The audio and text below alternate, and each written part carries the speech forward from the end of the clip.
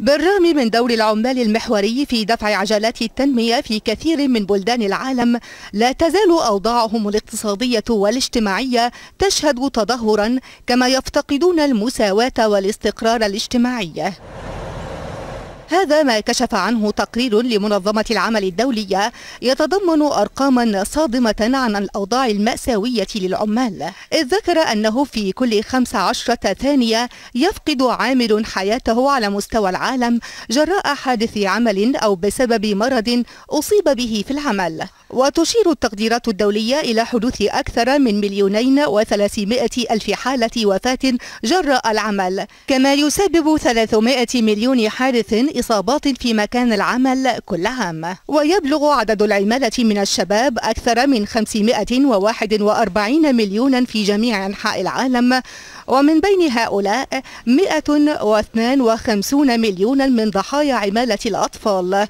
وما يقرب من نصفهم أي 73 مليون طفل يدخلون ضمن عمالة الأطفال الخطرة. وتحل هذه الأيام ذكرى مرور مئة عام على تأسيس منظمة العمل الدولية والتي كرست جهودها للدفاع عن قضايا العدالة الاجتماعية للعمال. رافعة شعار من كان يبتغي السلام فليزرع العدل. لكن بالرغم من ذلك لا يزال مئات ملايين العمال في أنحاء العالم يعانون أزمة العدالة الاجتماعية.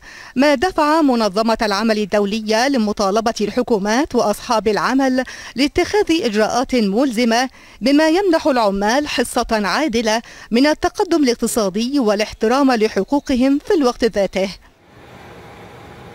وحدد التقرير الصادر عن اللجنة المعنية بمستقبل العمل إجراءات عاجلة لوقف تدهور أوضاع العمال في العالم منها تحديد أجور معيشية كافية وتحديد حازم لساعات العمل وإعادة تأهيل للعمال وإعداد الاقتصادات بما يتلائم مع التطور التقني.